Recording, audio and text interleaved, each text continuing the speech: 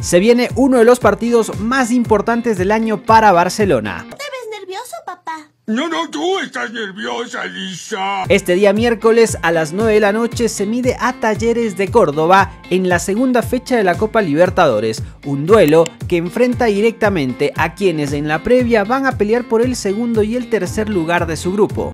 Ese soy yo. Bob Esponja Pantalones Valiente. Evidentemente, quedarse con los tres puntos en condición de local es necesario para que Barcelona se ilusione con jugar los octavos de final de la Copa Libertadores. Hoy hacemos una comparación de qué tiene Talleres y qué tiene Barcelona. ¿Se puede equiparar las fuerzas? ¿Es muy favorito el equipo argentino? Eso lo vamos a estar descubriendo a lo largo de este video. Como siempre, si te gusta el contenido, deja un me gusta, comenta, comparte, suscríbete. Arrancamos.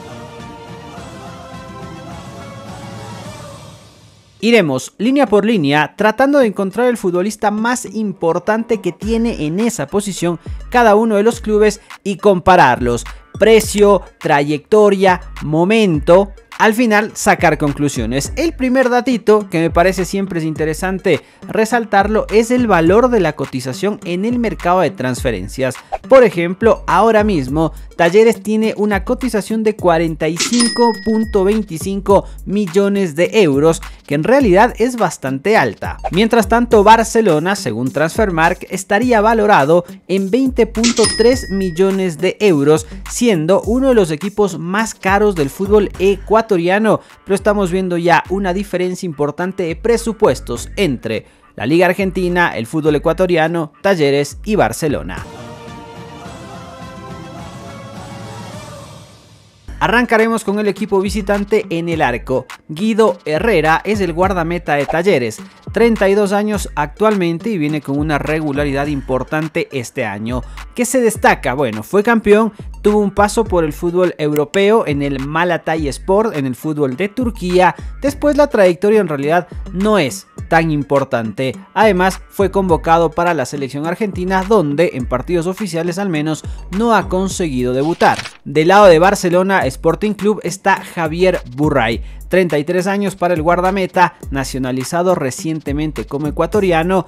Ojo, destaca su paso por Arsenal y por Barcelona. Después la trayectoria, al igual que la de Guido, no tiene tantos picos altos. Asimismo hay que decir que a nivel selección nacional, Javier Burray en partidos oficiales no ha podido jugar, pero ya debutó en un partido amistoso importante, además contra la selección italiana. Me parece que en el arco todo está absolutamente parejo, ninguno me parece que sea mejor que el otro.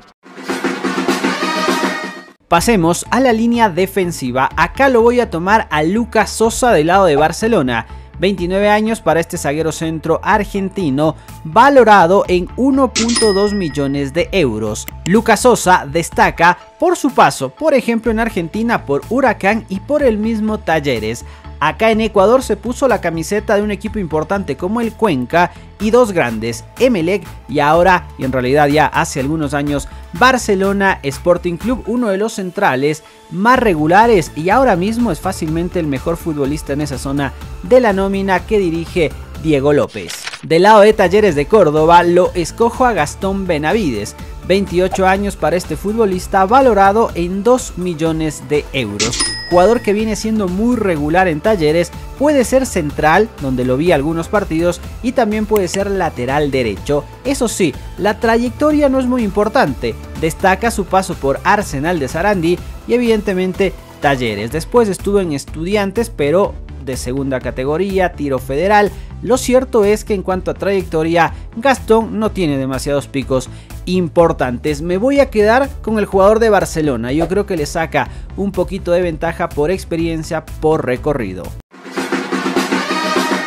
Vámonos a la zona de volantes, a los de primera línea. Ojito acá porque hay un futbolista muy interesante en talleres, Matías Galarza. 22 años para este paraguayo, cotizado en un millón de euros. La trayectoria a mí me parece interesantísimo a pesar de que ahora mismo no es un titular indiscutible. Ha jugado ya con la selección de su país tres partidos, estuvo en Olimpia, grande de su país, en Vasco da Gama, en Coritiba y ahora es cedido hasta el 2025 a Talleres. Evidentemente un futbolista muy muy interesante en el medio campo. Del lado de Barcelona Sporting Club me parece que el volante de mejor trayectoria es Jesús Trindade. 30 años para este uruguayo también valorado en un millón de euros. La trayectoria de Trindade es positiva, estuvo en Racing, pero sobre todo se puso la camiseta de Peñarol, de Pachuca, del Coritiba y ahora en Barcelona. Es muy buena la trayectoria en realidad de Jesús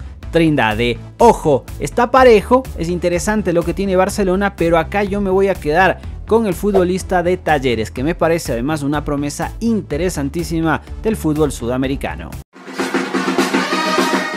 Vamos ahora a los volantes creativos u ofensivos. Rubén Bota del lado de Talleres, cotizado en 900 mil euros, 34 años. Futbolista con un pasado interesantísimo. Evidentemente lo que más destacamos es su paso por el Inter de Milán nada más y nada menos. Además estuvo mucho tiempo en el fútbol italiano. Pachuca, San Lorenzo, Defensa y Justicia, Colón, actualmente Talleres. Claramente un jugador con un cartel y pergaminos importantísimos. Del lado de Barcelona me parece podemos hablar aún de Damián El Quito Díaz, 37 años. Miren nada más la trayectoria y el palmarés que tiene Damián El Quito Díaz. Futbolista que destaca principalmente en Barcelona, aunque pudo ser campeón en Chile y también pudo ser campeón en el fútbol argentino. Ojo, dos jugadorazos, pero evidentemente nos vamos a quedar con el futbolista que estuvo mucho tiempo vistiendo los colores del Inter de Milán. Me parece que en el enganche volantes creativos también saca un poquito de ventaja Talleres. Y cerramos con los centrodelanteros. Del lado de Barcelona hablamos del polaco Francisco Fidrisewski, jugador cotizado actualmente en un millón de euros, con una trayectoria interesante, mucho tiempo en Newell's, jugó en España, en el Hugo, Chile, Liga de Puerto Viejo, Sociedad Deportiva Aucas, ahora defendiendo los colores de Barcelona. El arranque del año para el polaco, con altos y bajos, en general me parece ha sido bastante positivo. Los números en Liga Pro son buenos, 5 partidos, 3 goles, una asistencia para el polaco. Del lado de Talleres, el nombre más llamativo en el ataque y probablemente de toda la nómina es Nahuel Bustos. 25 años para este argentino, ojo, valorado en 4.2 millones de euros, pero el presente no es muy bueno. Ha jugado 11 partidos y tan solo registra un gol y una asistencia. La trayectoria, eso sí, es innegable, es muy buena. Talleres, Pachuca, Manchester City, Girona, Sao Paulo. La verdad es que es un jugador llamativo, pero repito, el presente no es muy bueno. Acá me voy a quedar con un empate, porque a ver, haber jugado en el City, en el Girona, evidentemente algún mérito tiene. Claramente el presente no es el mejor y por eso me parece el polaco puede igualar a Nahuel Bustos. Estamos llegando prácticamente al final de este video y me parece que en general está todo bastante parejo. Es cierto que hay una diferencia importante en cuanto a presupuestos, pero me parece que Barcelona, con el gen Barcelona este de pelear, de luchar, de ser un equipo muy competitivo, puede llegar a igualar las acciones tanto acá como en Argentina. Hemos repasado un poquito de uno de los rivales más interesantes que tiene alguno de los equipos ecuatorianos en el marco de la Copa Libertadores. El partido será este día miércoles 9 de la noche. Gracias siempre, esto es Fútbol Total, hasta la próxima.